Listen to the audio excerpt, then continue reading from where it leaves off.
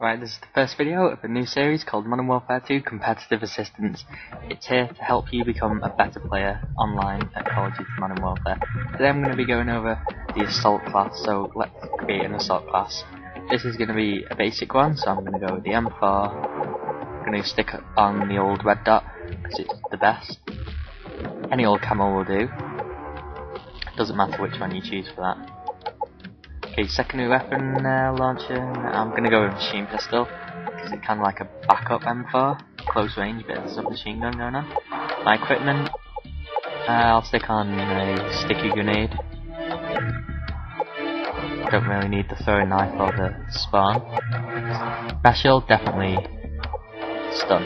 Right, this one I'm gonna go with um, scavenge, so I can constantly keep it loaded. I'm gonna go with stopping power pro, definitely stopping power, and I'm pro, so it's gonna be pro. And then perk three, steady aim, and then painful. Okay, the most important part of your class is the name you give it, so I'm gonna go with Mega Assault. No wait, let's put a 4 in there instead of an A, and then we'll spell some assault with letters. That's definitely the key to how good you are is the awesomeness of the name you give your class. Okay, let's find a game. Right, that was quick. Right, I can see this map, Scrapyard. Right, what I'm going to be doing is I'm going to, it's a sort of small box map, so I'm going to stay around the edges, and preferably I'm going to go for a corner.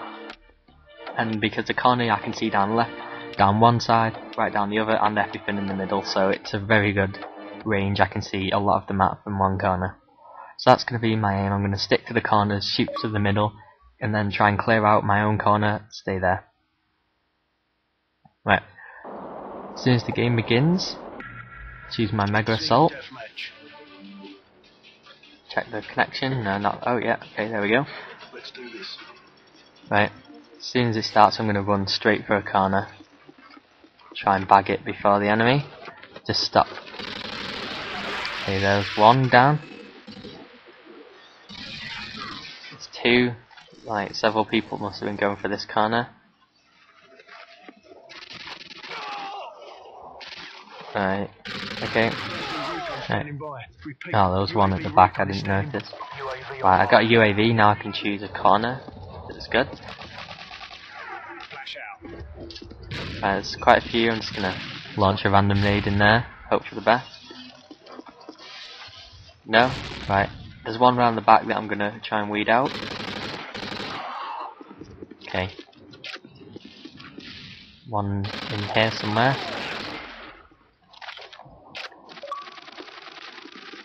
Uh, ducking just in case there was another one coming in whilst I'm reloading. Right. I'll take this corner. There was too much enemy pressure on the other one. Now I've taken this one. And it's good because um, parallel to me is the enemy. Repeat, counter UAV. Counter UAV up! They're blind! I'm gonna get some more ammo I'm gonna sort of move up a bit because they're creeping around to the opposite corner so I need to follow them.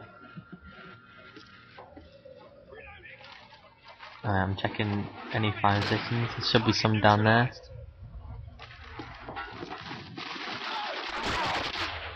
Yeah, there was there was someone around. Okay. I'm going to head back to that corner because it was a brilliant corner to stand in. There was quite a few enemies around. There's one near me that I'm going to catch now. Okay, they've taken this far corner now, so I'm going to sort of move in through, through the um, cover of this downed plane.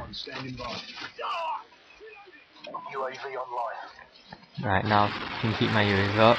I, you don't rely on the UAV, 100%. It's just a rough guide. Still cover all your laps and corners and everything. Don't just assume that there's no one there because the UAV says so. Like I just learned. Right, I'm going back for my corner now, just clearing out the people that are there. Right, there should be one coming around here. Okay, there we go.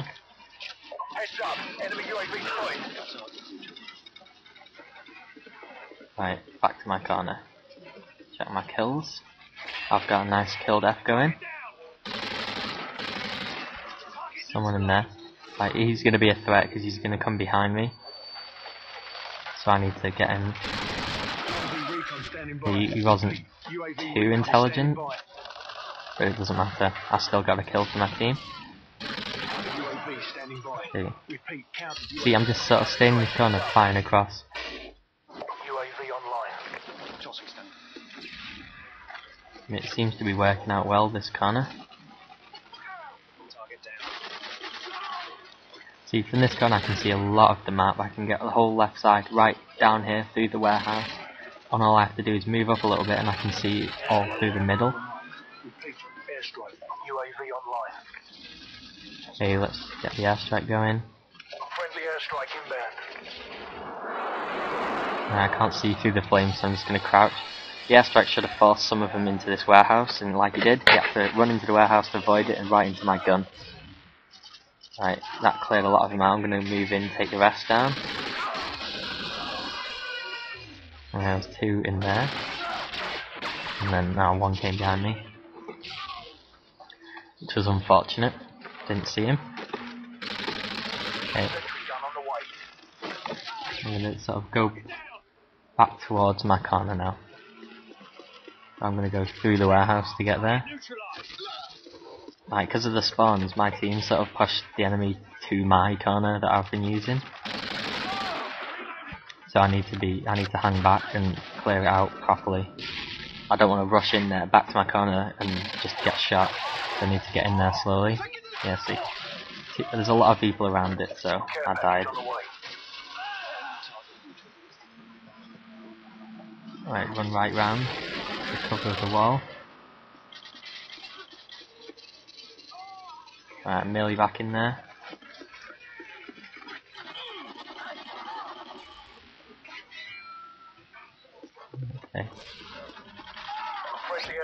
I can see that um, spawns have pushed them into the opposite corner from where they all were, so I need to move over there a bit to get some kills.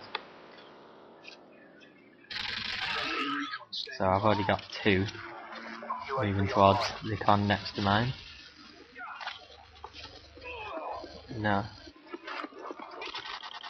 Yeah, there's some behind me now. So there is a few around this area. Ah, two of them came and got me. Okay, 26-6, not bad. I'm right near the end now.